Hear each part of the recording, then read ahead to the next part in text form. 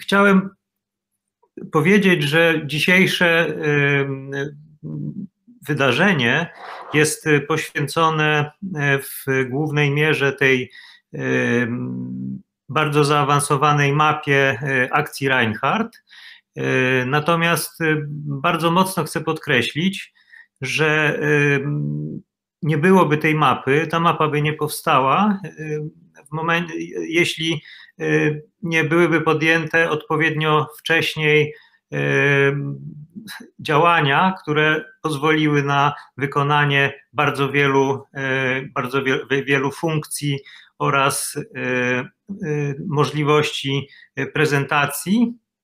I ja właśnie chciałbym się skupić na tym całym tle, który, które właśnie doprowadziło do powstania tej mapy. Zanim właśnie oddam głos kolegom, którzy już opowiedzą o samej mapie oraz o procesie przygotowania tej mapy. Przede wszystkim tutaj Asia wspomniała o idei powstania baz danych, bo, bo o tym chcę mówić. Bazy danych powstały zaczę, zaczęły być tworzone w 2016 roku.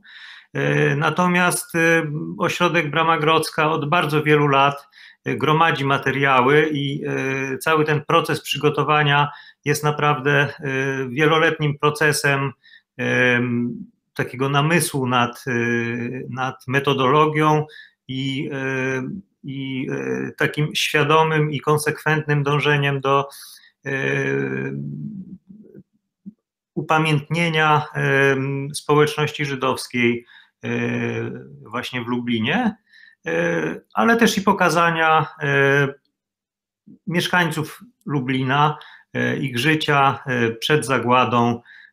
Mam tu na myśli przede wszystkim społeczność żydowską, ale nie tylko, bo te bazy oczywiście pozwalają na, na bardzo wiele i są tam informacje również zawarte również e, z, z innych okresów e, historycznych. E, właśnie tą ideą jest prze, przeciwstawienie dwóch skrajnych spojrzeń. Mówimy tutaj o wizji nie, niemieckiego okupanta, który miał w planie całkowite wymazanie e, istnienia społeczności żydowskiej e, z, w ogóle ze świadomości e, świata. Chodziło o to, żeby zniszczyć wszelkie materialne i niematerialne ślady dotyczące tej społeczności. Naszą tutaj naszym zadaniem, tak jak sformułował to Tomek Pietrasiewicz, jest y, y, stworzenie takiej w pewnym sensie utopii, bo y, bazujemy na skrawkach. Chodzi o to, żeby zrekonstruować w jak największym możliwym stopniu to, co tamci chcieli zniszczyć. Oczywiście nie przywrócimy życia, natomiast możemy na miarę naszych możliwości próbować E, próbować e, opowiadać i upamiętniać tych ludzi, e, szczególnie, że jest to bardzo ważne, jeśli chodzi o kontekst jakby ich tradycji, mam na myśli, mam na myśli społeczności żydowskiej i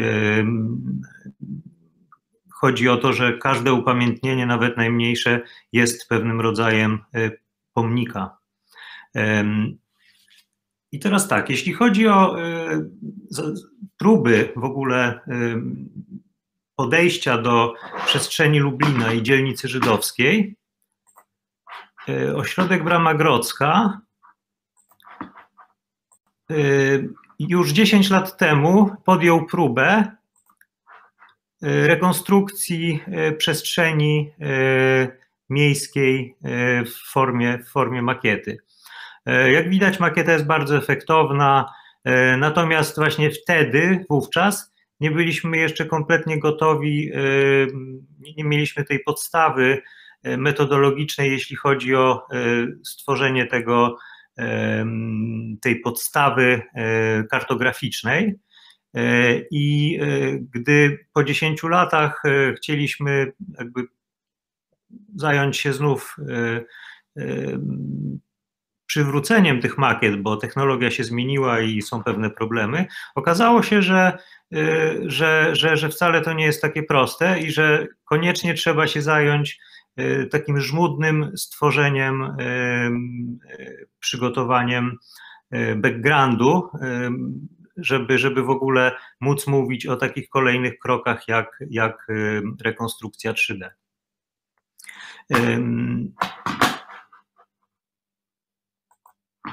Tutaj jest strona baz danych. Y, bardzo ważne jest, y, że, y, że te bazy składają się z czterech modułów. Jest to innowacja, którą my w pewnym sensie wprowadziliśmy i która okazała się niezbędna i jak się okazuje pionierska, bo nigdzie w Polsce w Europie ani na świecie.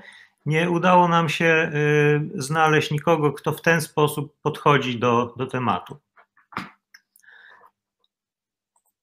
Tutaj chciałem pokazać, y, tu mam y, akurat po angielsku, schemat powiązań tych modułów.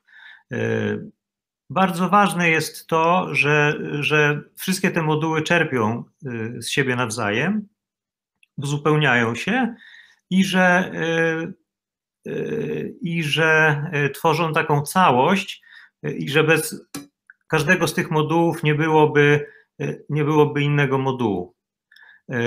Bardzo ważne jest to, że na przykład miejsca potrzebują ludzi oraz wydarzeń, żeby, żeby funkcjonować, a to wszystko jest oparte na na bazie źródłowej.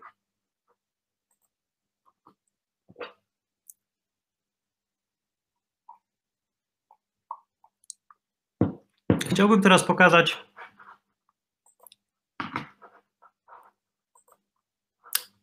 Chciałbym teraz pokazać ludzi. To jest moduł, w którym mamy prostą wyszukiwarkę, zaawansowaną wyszukiwarkę.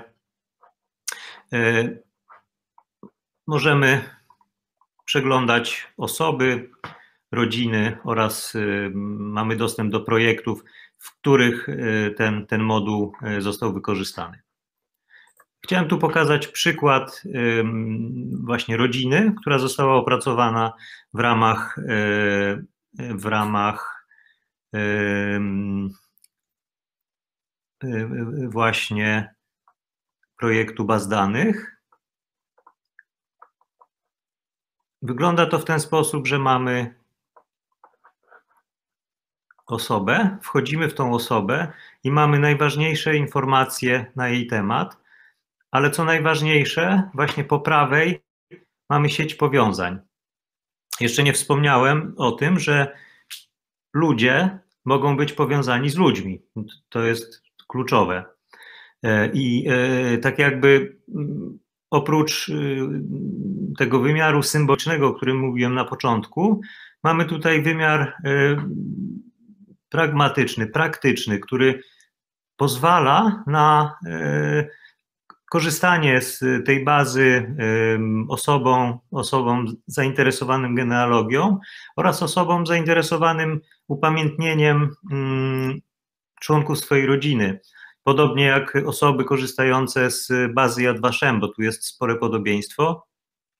Natomiast jeśli chodzi o szczegół opracowania, u nas jest y, to dużo jakby głębiej y, y, opracowane i, i, i, jest więcej możliwości tak jakby przeglądania, przeglądania informacji. Mamy dzieci,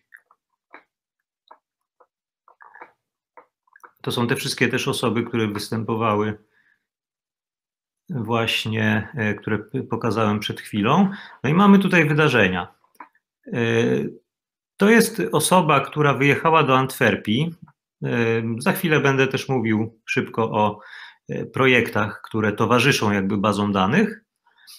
I dzięki temu, dzięki współpracy z, z naszą współpracowniczką i przyjaciółką w Antwerpii, Jackie Schwartz, udało się dotrzeć do bardzo wielu materiałów, ale o tym za chwilę.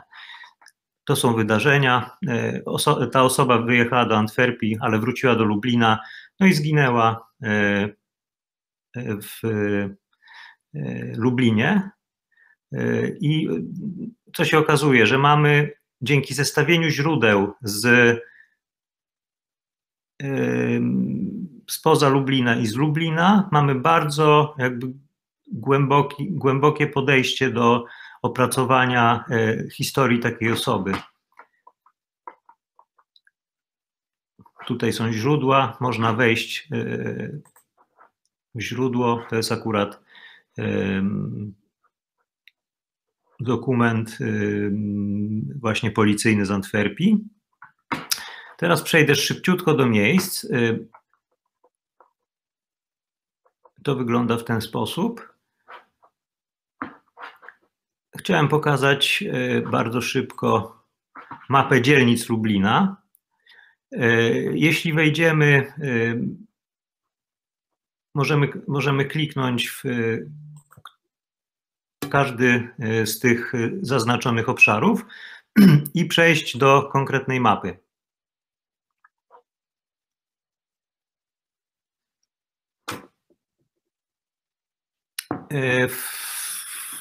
Tą mapę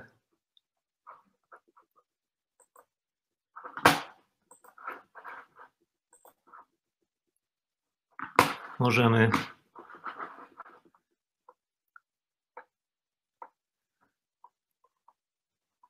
zoomować.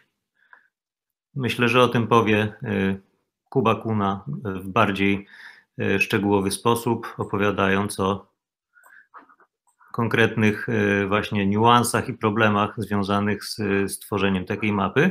Ja chciałem tylko skupić się na tej mapie, która już tutaj mignęła.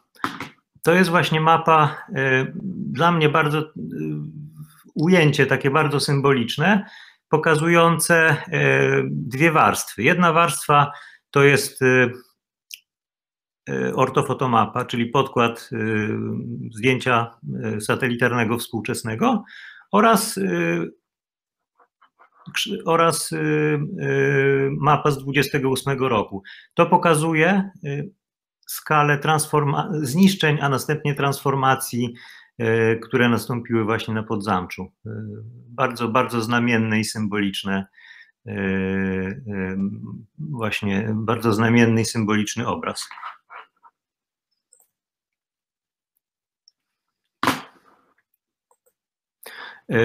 Teraz jeszcze szybko, tu Asia wspomniała o projekcie Lublin 43 tysiące. To jest oczywiście projekt, który, którego, którego pomysł y, powstał wcześniej, idea została stworzona przez Tomka Pietrasiewicza, ale który właśnie y, przeobraził się i nadał y, pewien ton tym działaniom już takim praktycznym, o których tutaj mówię.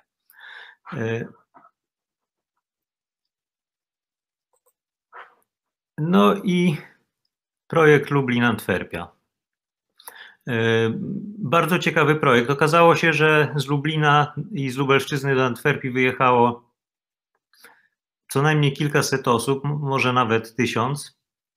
Mieszkali tam, pracowali, mówimy tu o latach dwudziestych i trzydziestych. No i następnie e, spotkał ich e, w większości ten los, który, który spotkał właśnie większość Żydów europejskich Natomiast y, większość tych osób trafiła y, do, y, do, do Auschwitz, więc, więc jakby zginęli nie w ramach akcji Reinhardt, ale w ramach jakby innych planów zagłady przez właśnie stworzonych i, i, i, realizowanych przez Niemców. Jeszcze tylko szybko powiem mm, o, o, o liczbach. E, jeśli chodzi o ilość rekordów, to mamy około w tej chwili 70 tysięcy rekordów w bazie, w bazie osób. Dlaczego tak dużo, jeśli mówimy o 43 tysiącach? Ponieważ wiele rekordów odnosi się do, do tych samych osób i jest czeka nas ogromna praca, żeby te rekordy właśnie analizować i scalać. I myślę, że w tej chwili E, gdyby to wszystko scalić i opracować, to byłoby może około 20 tysięcy osób e, z tych 43 tysięcy e, opracowanych. Chciałbym tutaj na koniec bardzo podziękować całemu zespołowi, który od wielu lat konsekwentnie, praktycznie co tydzień spotyka się, a w międzyczasie pracuje i komunikuje ze sobą. I e, zakończyć w tym momencie moją prezentację. Bardzo dziękuję.